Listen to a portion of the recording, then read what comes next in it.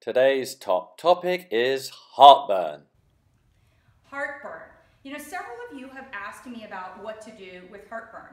And it, part of it depends on have you been diagnosed. So if you've been put on a medication or you're dealing with a repeat heartburn, then that's going to be something that I want you to uh, make sure that I'm aware of what your doctor or your dietitian has already recommended. But I wanted to clear up some of the myths. First of all, heartburn is not just about acid, and it's not about coffee and wine and you know having chocolate. The good news is we should probably be able to enjoy those. What it is about though is usually overeating, and that can just mean too much at one time or having too much of the wrong kinds of food. So there are certain foods that are irritants, like uh, if something is um, deep fried, that might be an irritant, but also things that are deep saucy.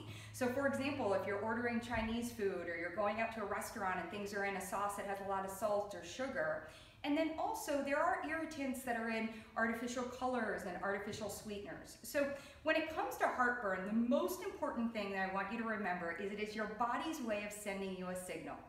Things are going in the wrong way and they're burning.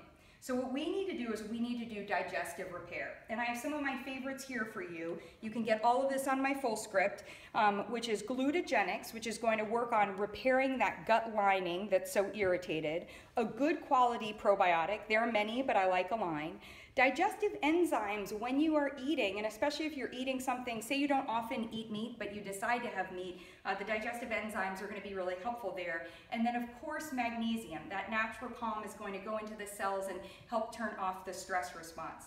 Another great tip for heartburn is to make sure that you're consuming water. And yes, you can even add lemon and lime into your water, but avoid the sparkling water, avoid the bubbles. Those bubbles can put pressure down here, which ends up putting pressure and pain up here. And then the final piece is you do want to try to be done eating sooner and try to have your dinner meal be a smaller meal.